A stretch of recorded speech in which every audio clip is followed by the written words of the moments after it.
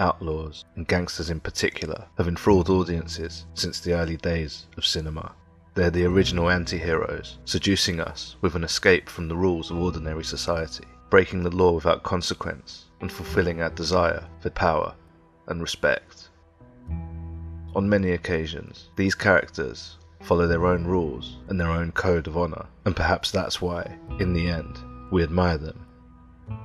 However wrong they may be, they are willing to die for their principles. For many, Hollywood gangsters are perhaps the most iconic in cinema. In the last few decades, Pacino's Michael Corleone from The Godfather or Tony Montana from Scarface are perhaps the most influential. But ask any fan of British cinema who their gangster hero is, and chances are they'll say just one name Jack Carter. Bloody well tell me who sent you. You're a big man, but you're in bad shape. With me, it's a full-time job. Now behave yourself. Right?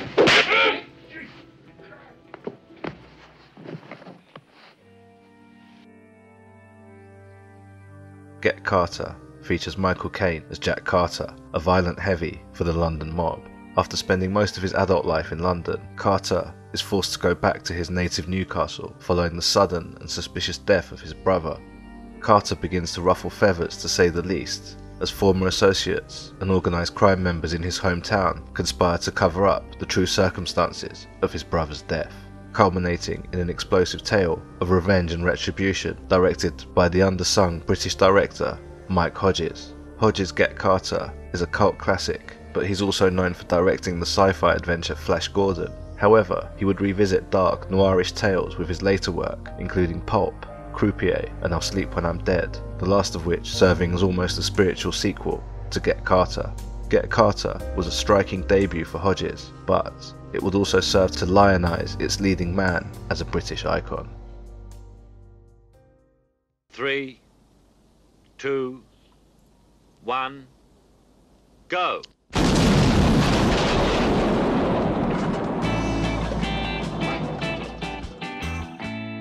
British cinema has created many icons, but none have had the same everyman appeal and the ability to endure as Michael Caine. Well, you all settled in? Right, we can begin. There are very few actors that have been in so many classic movies, including Zulu, Gambit, The Italian Job, The Man Who Would Be King, Educating Rita, and Hannah and Her Sisters, to name but a few. But also, Caine can give Harrison Ford's holy trinity of Han Solo, Indiana Jones, and Rick Deckard a run for his money, with countless iconic roles, including Alfie, Harry Palmer, which was essentially Caine's James Bond, Sherlock Holmes, Scrooge, and most recently Alfred the Butler in Christopher Nolan's Dark Knight trilogy. Caine has even fought Jaws. Oh, shit!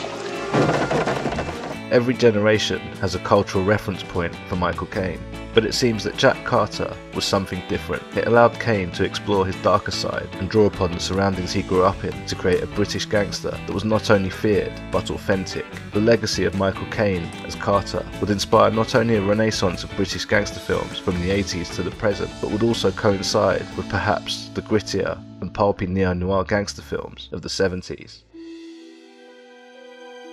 American film noir of the 40s would introduce audiences to the seedy world of criminality, gangsters, and hard boiled detectives, as well as exploring feelings of paranoia, betrayal, and revenge, all wrapped up in a shadowy and expressionistic world. Neo noir would reignite the genre in the 70s with such movies as Roman Polanski's Chinatown, as well as the stylish neo noirs of the 80s. However, neo noir could be traced back just a little bit earlier than that. British directors John Boorman and Peter Yates would channel the noirish themes of corruption and betrayal in the late 60s with Point Blank and Bullitt with their hard boiled tales. Integrity is something you sell the public. You sell whatever you want, but don't sell it here tonight.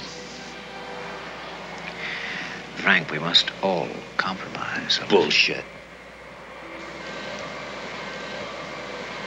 Get the hell out of here now.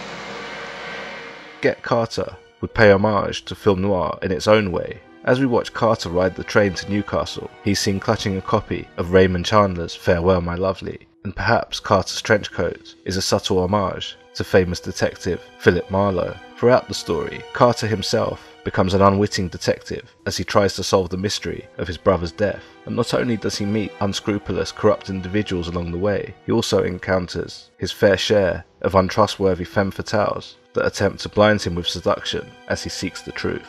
What does he want that great big country place for? Entertaining. What kind of entertaining? Now you're asking.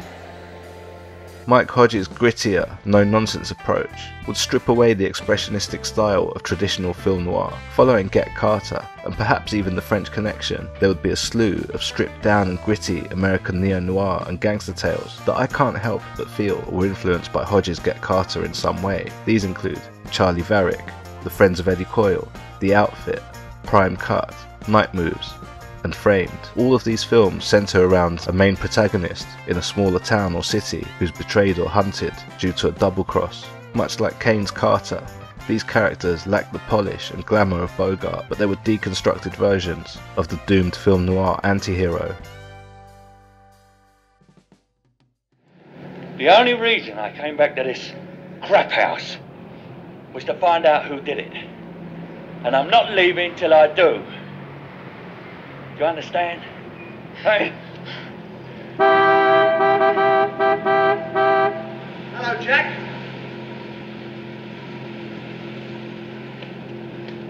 You bitch. It was you who told them I was here, wasn't it? Hey? Ah!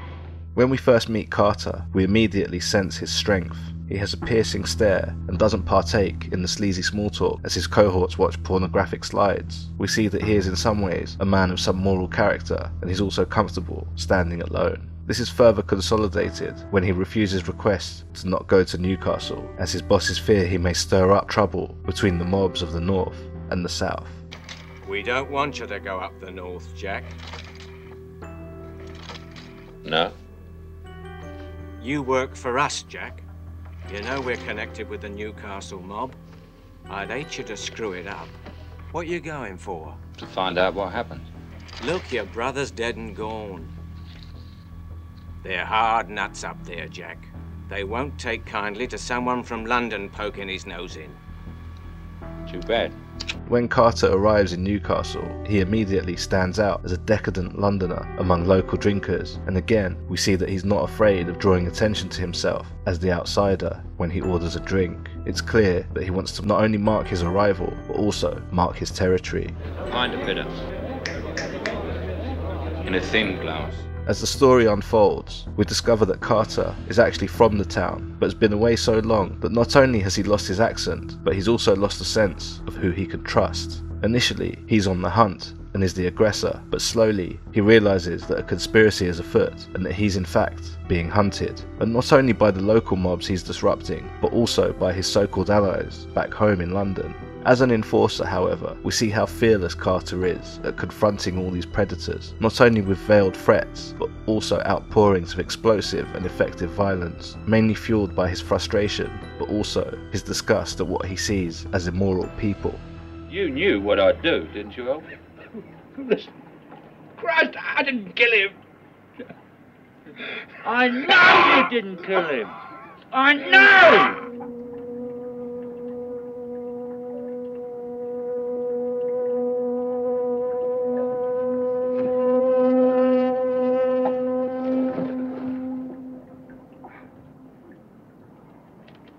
Your bra off. Stop it, darling. No. Go on. Carter is a complex character, full of interesting contradictions. Despite in essence being a violent thug and a womanizer, we empathise with him as he appears to be the lesser of two evils. Unlike those around him, he's a criminal with a moral code and seems to have principles, and perhaps it's his contempt for the people that he works for that justifies him cheating with his boss's wife, played by Britt Ekland. At the end of the famous phone sex scene, we get a sense, however, that his secrets are slowly being unveiled, and his employers are catching on to his lack of loyalty. What's the matter? You got gut trouble or something? No, darling. Just doing my exercises. Listen, Janet. Um, Giles just walked in. Must ring off. Yeah. I'll come tomorrow. Save it till Sunday. As he meets the various criminals and shady characters of Newcastle who try to portray themselves as respectable citizens with their fancy cars and lavish homes, we notice Carter's hostility. The interactions are friendly on the surface, but veil not only threats, but the truth about the cause of Carter's brother's death and Carter's quest becomes not only about delivering justice and eventually revenge, it ultimately becomes about redemption and Carter trying to make peace with the past. Near the beginning of the movie, as we watch Carter ride the train to Newcastle, it's almost as if he's travelling back in time and being hurtled into the past. Once back home, it's not long until we discover that Carter had betrayed his brother by having an affair with his wife and essentially destroying his family. The only remains of Carter's family is his niece Doreen, and due to the affair, it's also implied that Doreen might be Carter's daughter. Either way, Carter feels protective of the very naive Doreen and even offers to take her away from Newcastle and start a new life with him in South America. He does this perhaps as a way to restore the family unit that he feels he destroyed. What are you going to do? Live with Margaret? Well, why won't you come with us to South America? My fiance wouldn't mind. And that's how your dad would have liked it. Towards the end of the film, Doreen becomes the so-called smoking gun of the mystery. Carter discovers that she was featured in a pornographic film made by the very same criminals who've been deceiving him and trying to kill him all along. And it was also the very same criminals that killed his brother when he vowed to expose them when he found out the truth. The girl's name was Doreen, that's all I know. And you didn't know her last No. name? Well, it's Carter. That's my name. Following this revelation, Carter doles out brutal justice, killing his enemies and getting the rest of them arrested. I want you to drink all of that. Do you understand? Drink it all. Just like it was with my brother Frank. Go on, son. Drink up. Drink up, Eric. For the final act of vengeance, Carter punishes the sleazy Eric Paice. He avenges his brother's death by forcing Paice to get drunk and then beating him to death with the family heirloom, Carter's iconic shotgun. As Paice is dropped into the sea, we see that Carter feels vindicated and that he's ready to lay his demons to rest. And as he begins to throw the shotgun into the sea, the moment is suddenly interrupted as Carter is shot dead by a sniper's bullet. And it's here that we realise that Carter was not only trying to come to terms with his past, Carter is the past. Carter's moral code and desire for family values represents an old England that seems to be at odds with his enemies, who see financial gain in progress. Carter, on the other hand, is not driven by money. Throughout the film, we see him compensate people generously for any inconvenience. He is instead driven by what he believes is right, and no matter how many times he is warned to stop and go back to London, we only see him become more determined. Despite his protests, his homecoming appears to represent a desire to stay in the past. However, the mobs he works for are embracing the future and the change in values. The changing attitude towards sex and people turning a blind eye to corruption only brings them more profit and ultimately more power.